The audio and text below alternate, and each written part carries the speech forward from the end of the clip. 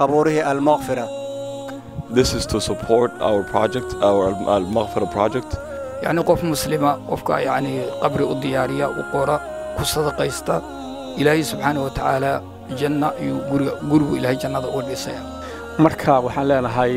xabaalahaad u jeedaan oo toddobaatan ay karka badan dhulka aynu gadannay qaalaheedii inaynu isgarab taagno communitiga soomaalida khaasatan waad ogtihiin dhibta naga haysta qubuuraha. Dadka xabaalaha aan u diyaarinaynahay dad meel fog ka imanaya ma waa dadka waa innaga uun dadka adduunka saaran weeye innaga weeye. Marka meeshana waxaan ku degannahay kun business wax ka yar kuma eh, deganin sanadka maan rabna inaan dhammayno bisha august waxaa la rabaa in aan ku aasno qofka u horreeya. Waa meeshii mustaqbalka ahayd waa meeshii runta ahayd waa gurigii runta ahaa. Waxaan doonaynaa masaajid iyo meel weyn oo dadka muslimiinta ay isugu yimaadaan ugu duceeyaan qofkooda ay ku mataqaana meydka ay ku sogootiyaan maqfira cemetery waa mashruuc communitiga raasamaal u ah.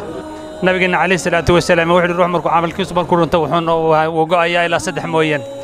saddexdaa waxaa ka mid ah sadaqatun jaariya. Haddaad meeshaa wax ku darsato sadaqadaasi sadaqa jaariya waxaa ka mid ah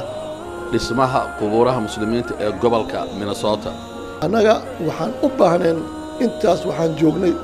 soddon sano wax ku dhowaad meeshii la isku duugaayey muslimkii gaaladu waa la isku dhex duugaayey maanta waxaan haysanaa meel annaga noo gaar ah oo muslimiinta keliya lagu duugaayo qof kastoo muslim ee dhegaysanaya waxaan xasuusinayaa mashruucani inaanu ahayn mashruuc dad gaari ay leeyihiin. Waxaan saa u leeyahay qof kasta oo muslim oo statekan ku nooli waa meesha uu ka faa'iidi karo hadduu dhinto ee lagu aasi karo waa maqbarada keliya ee muslimiintu ay leeyihiin ee aan ganacsi ahayn ee ugu ballaaran ee loogu talagalay dadka muslimiintu inay si gaara isugu aasaan waxaan u taagannahay almaqfira cemetery ee qubuuraha almaqfira inaan u istaagno ولو يؤاخذ الله الناس بظلمهم ما ترك عليها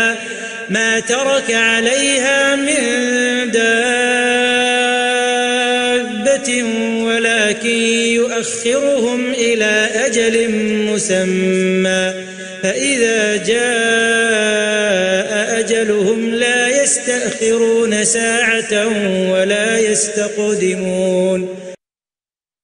وأنفقوا مما رزقناكم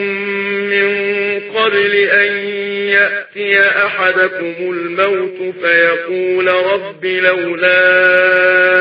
أخرتني